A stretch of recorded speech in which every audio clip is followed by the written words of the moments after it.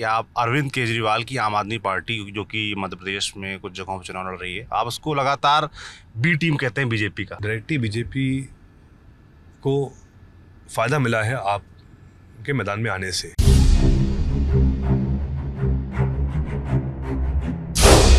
एक बयान मैंने आपका अक्सर सुना है कि आप अरविंद केजरीवाल की आम आदमी पार्टी जो कि मध्य प्रदेश में कुछ जगहों पर चुनाव लड़ रही है आप उसको लगातार बी टीम कहते हैं बीजेपी का।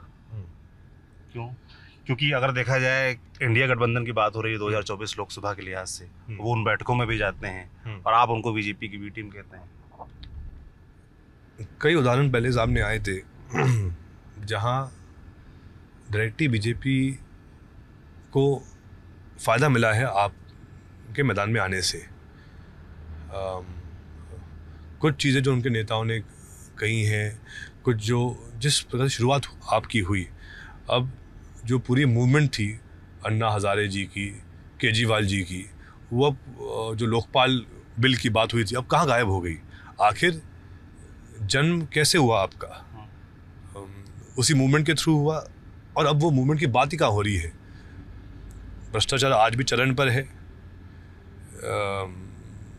इनफैक्ट ज़्यादा है पहले से पहले तो आ, सिर्फ़ गलत आरोप लगाए गए थे यूपीए पर जबकि यूपीए पर जो आरोप लगाए गए थे कहीं भी वो सिद्ध नहीं पाए पाए गए।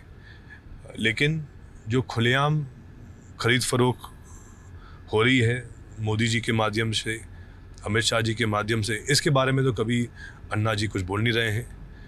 तो इसलिए मैंने कहा था कि जिस जिस पार्टी का जन्म ही ऐसे हुआ जिसके माध्यम से उनने इनडायरेक्ट सपोर्ट भाजपा को किया था आ, तो ये एक मतलब एक हमेशा एक विषय रहेगा कि आखिर इनकी आगे की इनकी प्लानिंग क्या है और क्यों इनका क्या इरादा है आगे के लिए? आम आदमी पार्टी से भी झगड़ा चल रहा है मध्य प्रदेश में। अखिलेश यादव से भी झगड़ा चल रहा है मध्य प्रदेश में। तो इंडिया गठबंधन कैसे तैयार होगा कैसे बनेगा? अखिलेश जी के साथ तो ऐसा कोई उसमें झगड़ा नहीं है। बस थोड़े बहुत वो सीट शेयरिंग के मामले में है। अब जहाँ पे एक ही विधायक सपा का है जबकि कांग्रेस के पास तो पूरा अगर आप देखें तो ज़्यादातर मध्य प्रदेश ऐसा राज्य है जो सिर्फ़ टू पार्टी सिस्टम जहाँ पर है और क्योंकि गठबंधन की अभी चर्चा है ज़ोरों से तो उसमें इंडिया अलायंस के माध्यम से हमें उम्मीद थी कि चाहे सपा हो चाहे आप हो सबको समर्थन करना चाहिए था कांग्रेस पार्टी का हाँ। क्योंकि अगर सभी साथ खड़े होकर चुनाव लड़ेंगी तो ही नुकसान बीजेपी को बीजेपी मतलब आप कह रहे हैं कि इन लोगों को साथ देना चाहिए था क्योंकि यहाँ पर कांग्रेस ज़्यादा मज़बूत है अब अब जिस सपा की एक ही सीट है आपकी एक भी सीट नहीं है तो फिर क्या आवश्यकता थी प्रत्याशी करने की Car Garage Network, great. Claim cover, great. Price, wait wait, wait. Wow, price be great.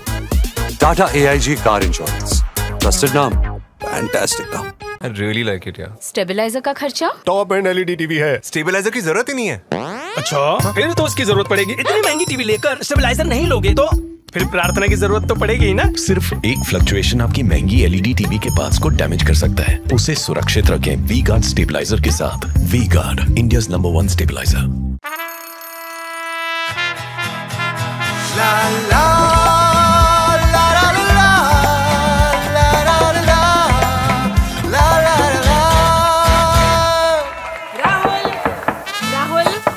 तन के साथ मन को जगाओ।